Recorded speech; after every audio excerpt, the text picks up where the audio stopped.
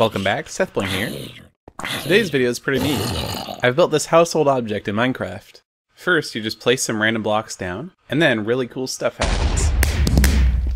Let me show you how it works. It's actually really simple. It uses a bunch of command blocks, and that's really all there is to it. That's about it. Thanks for watching.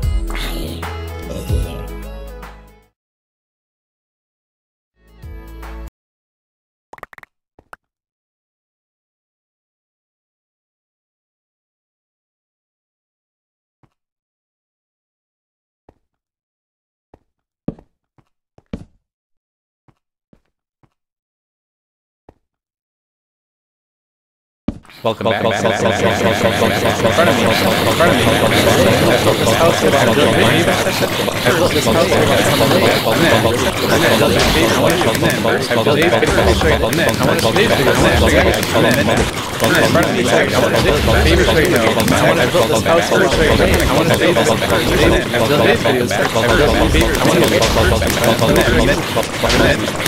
I built this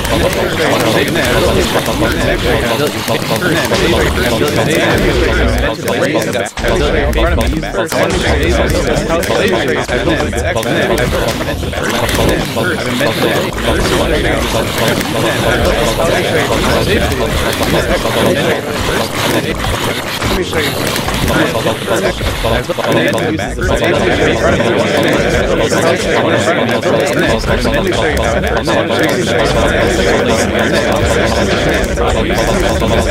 Show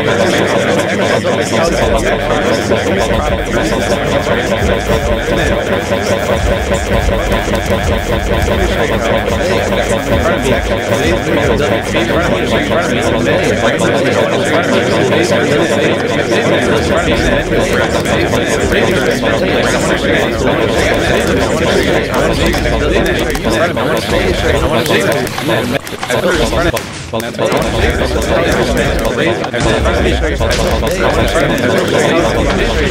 there is to it. That's really all there is to it. That's really all there is to it. Thanks for watching. That's about it.